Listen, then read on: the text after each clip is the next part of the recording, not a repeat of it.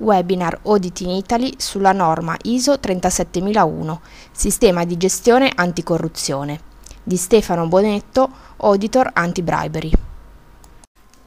L'obiettivo di questo webinar è conoscere, con un approccio semplice ed operativo, il sistema di gestione per la prevenzione della corruzione previsto dalla ISO 37001, adottata anche dall'UNI, e capire come implementare all'interno della propria organizzazione dei presidi per contrastare i fenomeni di corruzione e diffondere una cultura basata sull'integrità negli affari. Prima di analizzare nel dettaglio la norma, vediamo qual è il contesto nella quale si inserisce. Il fenomeno del contrasto alla corruzione è stato affrontato in molti paesi già da disposizioni legislative nazionali, Possiamo pensare ad esempio al Bribery Act nel Regno Unito, al Foreign Corrupt Practices Act negli Stati Uniti, al decreto legislativo 231 del 2001 e alla legge 190 del 2012 in Italia. Vi sono presenti anche indicazioni specifiche a livello europeo e dell'Ocse. A livello normativo, il primo standard ad interessarsi all'argomento anticorruzione è stato il British Standard BS 10500, che è stato sviluppato nel 2011. La norma ISO 37001 Anti-Bribery Management Systems definisce i requisiti per prevenire, individuare e rispondere in maniera efficace a possibili fenomeni di corruzione che si possono verificare all'interno di un'organizzazione. I requisiti della 37001 sono applicabili a qualunque organizzazione, indipendentemente da tipologia, dimensione e natura dell'attività. Bene, parliamo della norma ISO 37001. Che cos'è questa norma? Prima di tutto è una norma tecnica, ossia una norma che fissi i requisiti, i requisiti di un sistema di gestione per la prevenzione della corruzione ed è integrata da una linea guida applicativa. Linea guida applicativa che collega il requisito fissato dalla norma ad una indicazione, una buona pratica per una sua efficace applicazione.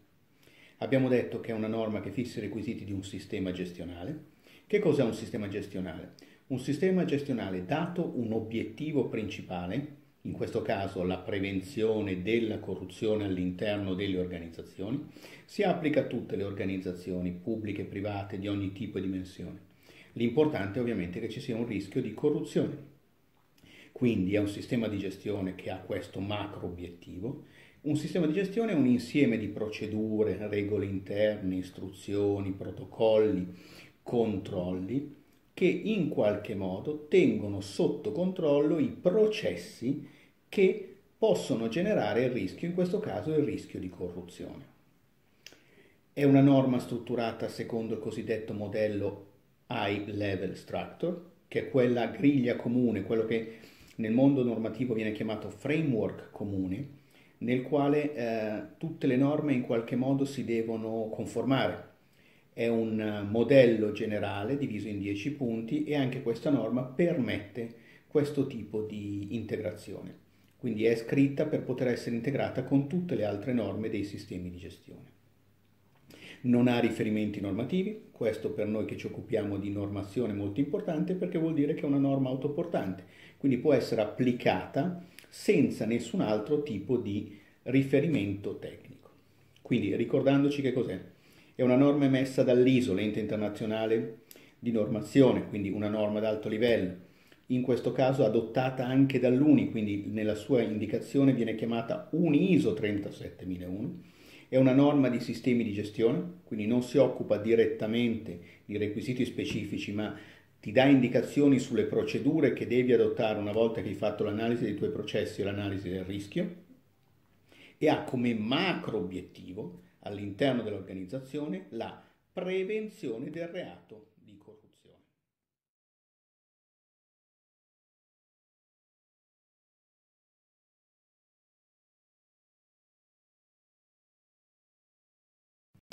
Secondo aspetto, quello che mi interessa fare in particolare sono due premesse su questa UNISO 37001, quindi la norma sui sistemi di gestione e di prevenzione della corruzione. È una norma che ha un forte approccio anglosassone, Cosa significa questo? Significa che ha principalmente riferimenti normativi internazionali. Questo significa riferimenti OXE, significa riferimenti Nazioni Unite, significa riferimenti dell'Unione Europea. Quindi principalmente è orientato al concetto di prevenzione della corruzione in senso lato e con un approccio internazionale. Sempre nell'ottica approccio delle norme anglosassoni abbiamo un secondo aspetto da mettere in evidenza, ossia che è da una forte autonomia al soggetto che decide di applicarla. Quindi concentra sull'analisi del rischio che chi vuole applicarla deve fare, quelle che sono le considerazioni senza dare regole su come l'analisi del rischio debba essere fatta, dà forte autonomia al soggetto che decide di applicarla, su quali sono le aree di intervento, il perimetro e addirittura la stessa definizione di corruzione. Ultimo aspetto per questo che io definisco approccio anglosassone o approccio internazionale alla normazione è che è una norma che ci dicono subito, attenzione, è parte integrante di quei cosiddetti compliance program, ossia programmi di conformità generali di qualsiasi organizzazione. Un'organizzazione per stare sul mercato e per gestire il rischio e anche per appre- un approccio all'integrità deve comunque rispettare le leggi. Ecco, questa potrebbe essere vista come un sottoinsieme dell'insieme generale della compliance aziendale. Quindi compliance significa conformità principalmente alle leggi, poi a quelli che sono i documenti statutari e obbligatori che l'organizzazione si è data e ovviamente i contratti sottoscritti con i clienti o con i stakeholder in generale. L'ultima premessa che, mi, che, vorrei fare è quella, attenzione, per il momento è una norma che si applica esclusivamente al reato di corruzione. Quindi molti di quelli che sono i reati che danno la responsabilità penale di imprese, ricordiamoci il decreto legislativo 231 del 2001, sono assolutamente esclusi da questo tipo di norma. Lo standard internazionale 37001 parla di corruzione. Importante c'è una nota che ci dice che puoi estenderlo, autonomia nell'applicazione della norma, però attenzione, devi eh, gestire bene questa estensione agli altri reati.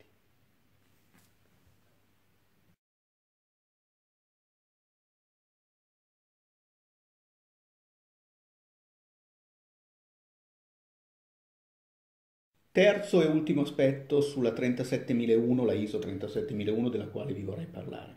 Quelli che chiamiamo i punti rilevanti. Abbiamo detto che è una norma definita sulla base della High Level Structure, quindi questo framework, questa matrice, questa cornice fatta in 10 punti che prevede specifiche attività per tutti i sistemi di gestione. All'interno di alcuni requisiti troviamo delle personalizzazioni, delle esigenze specifiche. In questo caso ve ne ho individuate 10. La prima cosa è sicuramente che quando vuoi applicare questo standard devi dare la tua definizione di che cosa intendi per bribery, quindi per corruzione, perché tutti i paesi hanno leggi diverse. Loro danno una definizione di tipo generale, ricordatevi l'approccio anglosassone, noi dobbiamo dare la nostra, ricordandoci che c'è una definizione che possiamo definire per legge, tipica è quella del nostro codice penale, poi possiamo estenderla attraverso codici etici o procedure interne anche ad altre regole che si fissa autonomamente l'organizzazione stessa. Secondo aspetto di personalizzazione, devi definire bene e studiare bene qual è il modello di governance della tua organizzazione. Questo è molto importante, divide fra quello che potrebbe essere l'organo più alto, poi collegandolo al top management e così via quindi questo è un aspetto estremamente tipico di questa norma e deve prevedere all'interno dell'analisi della governance anche la verifica delle deleghe. Poi prevede una specifica analisi del rischio, tutte le norme eh, dei sistemi di gestione lo prevedono, ma aggiunge il requisito della due diligence, che è un'analisi del rischio aggiuntiva, laddove non de- puoi considerare non basso il rischio di eh, corruzione e viene fatta su attività specifiche. La due diligence è mirata per esempio su determinati fornitori, determinati mercati, determinate transazioni e quindi è un requisito tipico di questo standard. Uh, in seguito mi piace ricordare la norma prevede una funzione compliance specifica per la prevenzione della corruzione. Questo è in linea con tutti i modelli internazionali della prevenzione della corruzione, dove abbiamo in qualche modo il cosiddetto responsabile della prevenzione della corruzione. Dà in seguito dei requisiti specifici che altre norme sui sistemi eh, gestionali non danno sull'assunzione del personale, quindi ci deve essere una procedura documentata fatta in un certo modo e con determinate caratteristiche, qui le buone pratiche ci sono, quindi basta copiare quelle. Eh, come requisito integrativo da studiare quando ho iniziato a pensare questa norma ti parla anche di financial e non financial control, questo è importante, quindi ha, pur essendo una riga sola quello sul financial control, va prevista una procedura di cui la forte integrazione fra quelli che sono i lavori per esempio dei collegi sindacali nelle varie organizzazioni e il sistema di gestione per la prevenzione della corruzione. Quindi procedure su come, passatemi il termine, gira il denaro e le autorizzazioni alla spesa e così via, deve in qualche modo essere parte integrante del nostro sistema di gestione.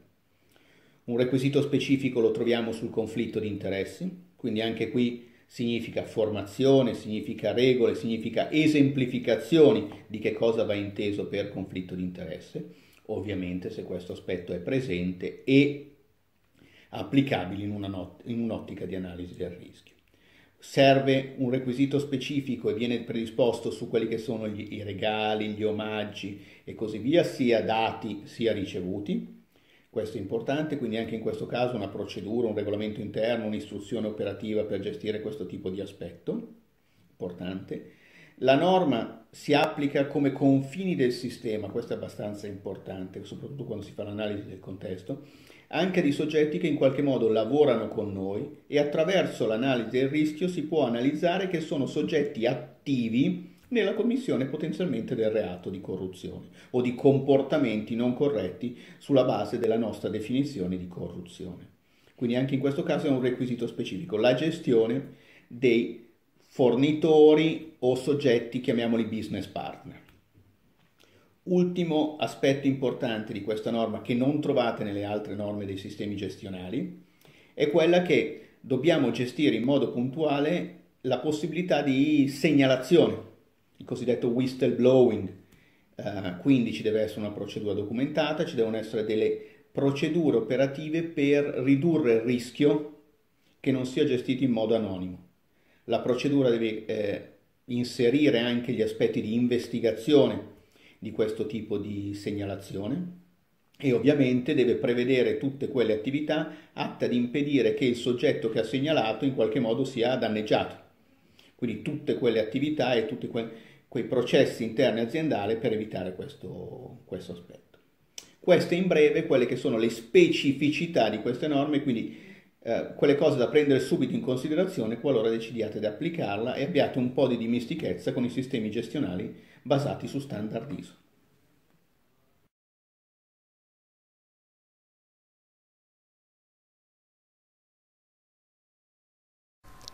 Riassumendo quanto finora detto, la ISO 37001 è un valido supporto per le organizzazioni che devono adempiere agli obblighi legislativi previsti in materia di anticorruzione e che vogliono adottare un approccio operativo basato su regole chiare e condivise, in grado di controllare concretamente nel tempo i rischi legati al fenomeno della corruzione.